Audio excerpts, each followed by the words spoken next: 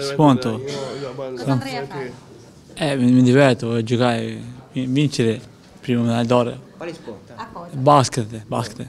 Sono pronti per partire verso gli Emirati Arabi i cinque atleti aretini che prenderanno parte agli Special Olympics World Summer Game che si svolgeranno ad Abu Dhabi dal 14 al 21 marzo. Si tratta del più grande evento internazionale dedicato alle persone con disabilità intellettiva. Credo che sia un po' il sogno di ognuno di noi che sta dentro questo movimento avere la possibilità che capita una volta sola nella vita di, di vivere un'esperienza così, così, bella, appassionante, eh, che è un po' il culmine del lavoro che si fa nel quotidiano anche delle ore spese come volontari insomma per un movimento in cui crediamo, crediamo nei valori ma che soprattutto grazie al fatto che si sta vicino a persone veramente speciali ci dà anche tanto da un punto di vista umano. Gli sport per i quali i nostri atleti sono convocati sono il basket, Alessandro, Linda per la pallavolo unificata e Filippo per l'equitazione, ognuno poi con le specifiche discipline.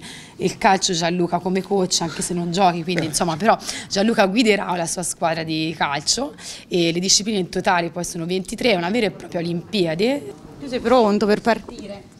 Vai Filippo. Sei pronto per partire? Non vuoi partire?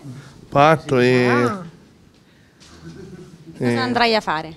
Abu Dhabi lo sport? in equitazione. Special Olympics Italia ha anche lanciato la raccolta fondi Adotta un campione per finanziare l'adesione dei partecipanti. La giunta aretina ha deciso di adottare proprio i due rappresentanti di casa con un contributo di 4.000 euro. Per me, ma per tutta l'amministrazione, è è un motivo di, di orgoglio perché comunque li abbiamo seguiti, li seguiamo da anni, la loro passione, la loro tenacia li ha portati lontano e la loro volontà. Quindi noi li seguiremo da Arezzo, li seguiremo da lontano facendo un grandissimo tifo, Tifo, eh. Un grandissimo tifo, grandissimo. E vi aspetteremo al ritorno con le vostre medaglie. Per cui un grande in bocca al lupo e Arezzo vi guarda.